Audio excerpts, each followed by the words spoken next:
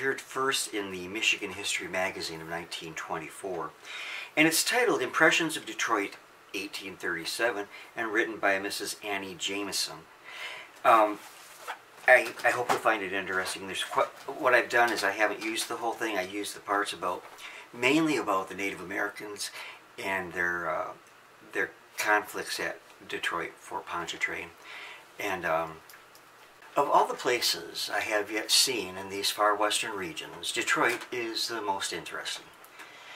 It is, moreover, a most ancient and venerable place dating back to the dark immor immemorial uh, ages, i.e., almost a century and a quarter ago at this writing.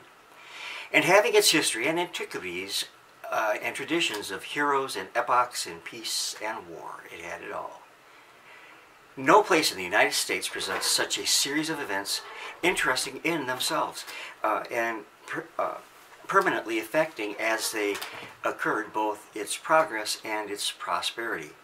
Five times its flag has changed, and three different sovereignties have claimed it has been besieged by the Indians, once captured in war, and once burned to the ground. A truly long list of events for a young city of a century and a quarter old. Detroit may almost rival her grand grandam, Quebec, who sits bristling defiance on the summit of her rocky height in warlike and tragic experience. Very interesting uh, uh, observations of early Detroit. Now we continue. The origin of the city was a little palisaded fort erected here in 1702 by the French under Lamotte, Lamotte Cadillac to defend their fur trade it was then called Fort Pontchartrain, and from this time till 1760 it remained in possession of the French and continued to increase slowly. So as late as uh, 1721, Charlevoix speaks of the vast herds of buffaloes ranging the plains west of the city. I, I, just I never associate buffaloes with Michigan. I associate them with the Plains states, but yes, indeed, they were here, as this attests to. Now, meantime, under the protection of the fort, the settlement and cultivation of the neighboring districts went on in spite of the attacks of some of the neighboring tribes of Indians, particularly the Outagamis, who, with the Iroquois, seem to have been the only decided and irreconcilable enemies whom the French found in this provision, or province, excuse me. The capture of Quebec and the death of Wolfe being followed by the, uh, by the secession of the whole of the French territory in North America uh, to the power of Great Britain.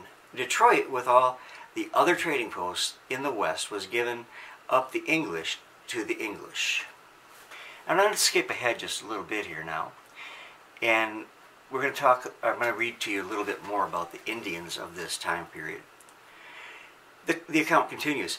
The discontent of the Indian tribes upon the uh, transfer of the, the fort and trading post into the possession of the British showed itself early and at length gave rise to one of the most prolonged and savage of all the Indian wars, that of Pontiac in 1763. Um, of this of this Pontiac, you have read, no doubt, in various books of travels and anecdotes of Indian chiefs.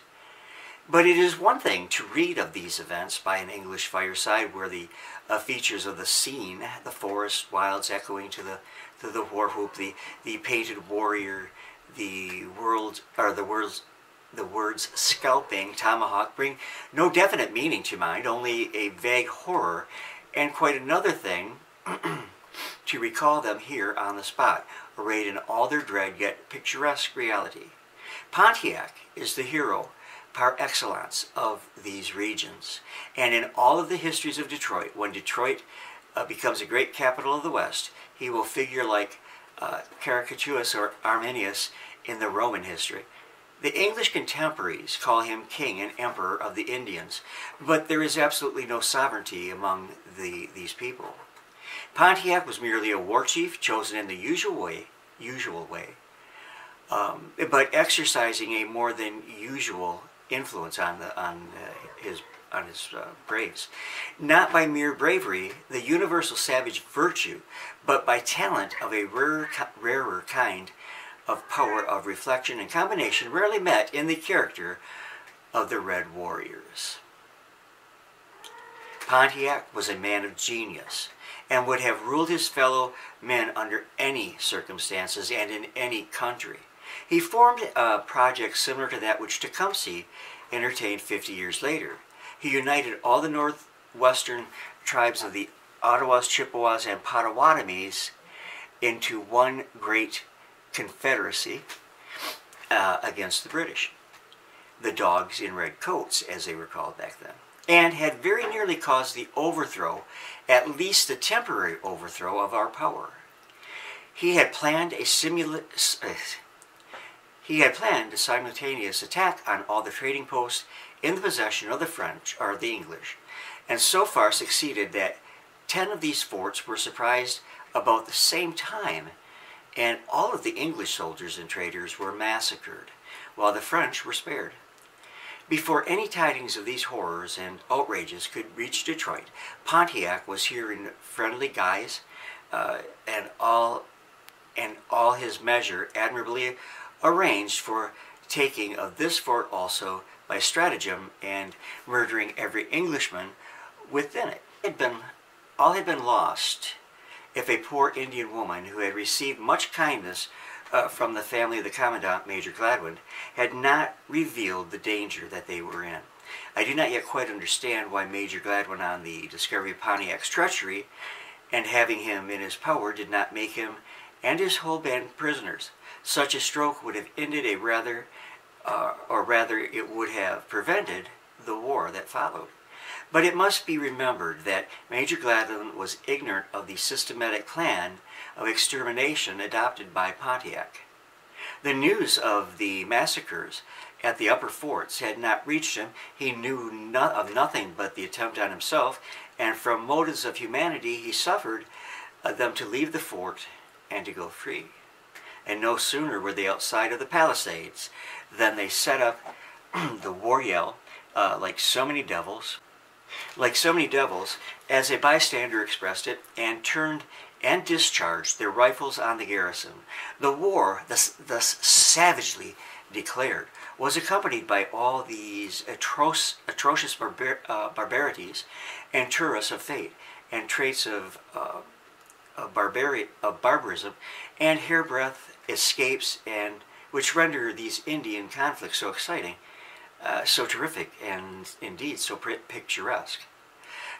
Detroit was in a state of siege by the Indians for 12 months, and gallantly they successfully defended uh, by Major Godwin until relieved by General. My good natured landlord drove me himself in his wagon. Uh, with as much attention and care for my comfort as if I had been one of his near relations.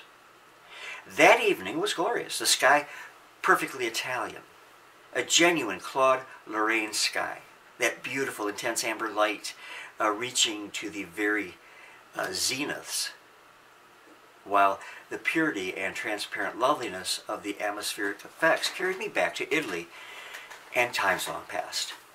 I felt it all. As people feel things after a sharp fit of indisposition when the nervous system languid at once and sensitive thrills and trembles to every breath of air. As we drove slowly and silently along, we came to a sluggish, melancholy looking rivulet, uh, to which the man pointed with his whip.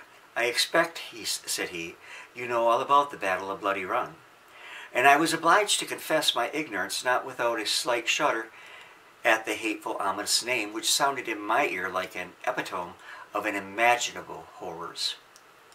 This was the scene of a night attack made by 300 British upon the camp of the Indians who were then besieging Detroit. The Indians had uh, notice of their intentions and prepared an ambush to receive them. They had just reached the bank of this rivulet when the Indian foe fell upon them suddenly, and, and they fought hand to hand, bayonet to tomahawk, in the darkness of the night. And before the English could extricate themselves, 70 men and most of the officers fell and were scalped on the spot. Them Indians, said my informant, fought like brutes and devils, as most do, I thought, who fight for revenge and existence. And they say the creek here, when morning came, ran red with blood, and so they called it Bloody Run. Now, there certainly is much in the name, whatever Juliet may say, and how much in fame. Do you remember the brook Sanguinetto, which flows into Lake, oh boy, Lake Therasiamene? And I'm sure I massacred that. uh, the meaning and the derivation are the same, but what a difference in sound. The Sanguinetto Tis a word one might set to music. Okay, I have to send that off to Elton John.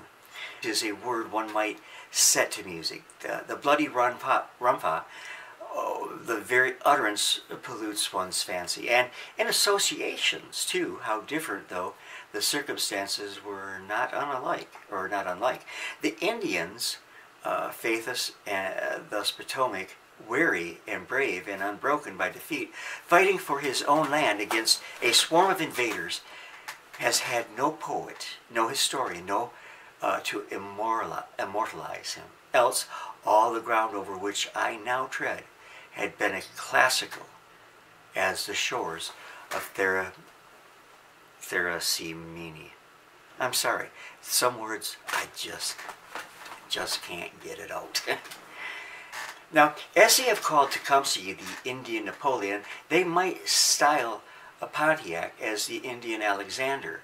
I do not mean him uh, of Russia, but of the Greek. Here, for instance, is a touch of magnanimity, quite, quite in the Alexander the Great style. Pontiac, before the commencement of the war, had provided for, for the safety of the British officer, Major Rogers by name, who was afterwards employed to relieve Detroit when besieged by the Indians. On this occasion, he sent Pontiac a present of a bottle of brandy uh, to show that he had not forgotten his former obligations to him. Those who were around the Indian warrior when, when the uh, present arrived, particularly some Frenchmen, they warned him not to taste it. Particularly some Frenchmen uh, stressed that that it might be poisoned. Pontiac instantly took a draught from it, saying, as he put the bottle to his lips, that it was not in the power of Major Rogers to hurt him, who had so lately saved his life. I think this story is, is no unworthy uh, pendant to that of Alexander and his physician. Some of these old descriptive texts wander a lot, but it's, it's interesting.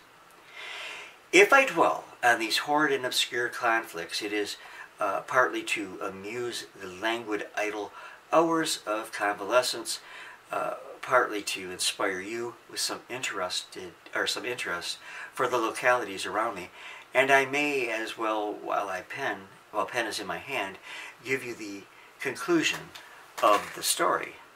Now, Pontiac carried uh, the war with so much talent, courage, and resources that the British government found it necessary to send considerable forces against him. General Bradstreet came upon here with a, with uh, 3,000 men, wa uh, wasting the lands of the of the Miami and the Wyandotte, burning their villages and destroying their cornfields.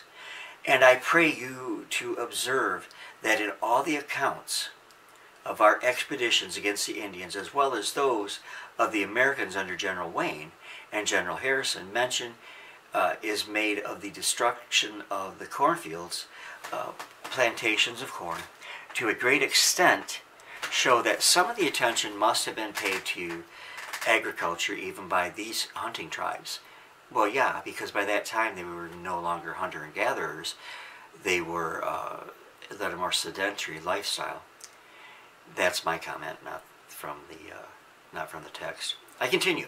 I find mention also of a very interesting and beautiful tradition connected with these regions to the east of the Detroit Territory.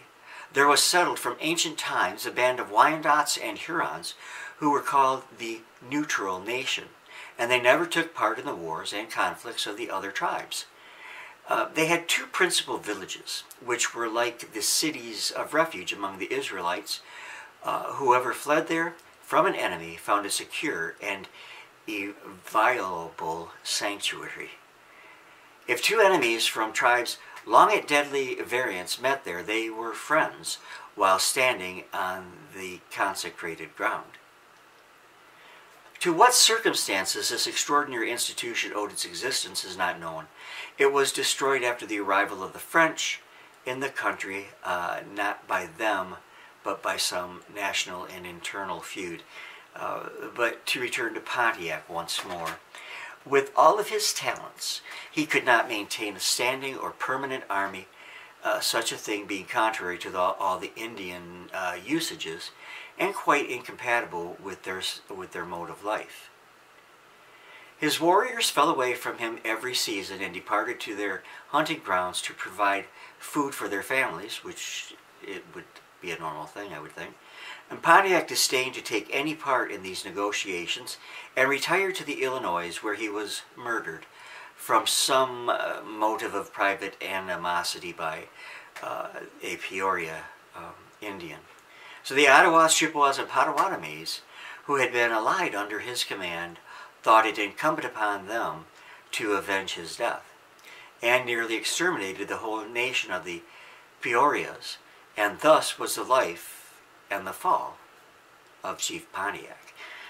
Uh, a fascinating account, despite the wandering text sometimes and my stumbling over words sometimes, which I do apologize for. Uh, but Pontiac, uh, he, he had a, a, great, or has a great reputation as a warrior uh, and uh, as a great car manufactured in Detroit at one time. All right, I hope that you found this interesting, and I am going to go to bed. And uh, so I will be back with you real soon, God willing. I love each and every one of you very much, and thank you for tolerating my sometimes inane sense of humor. God bless you.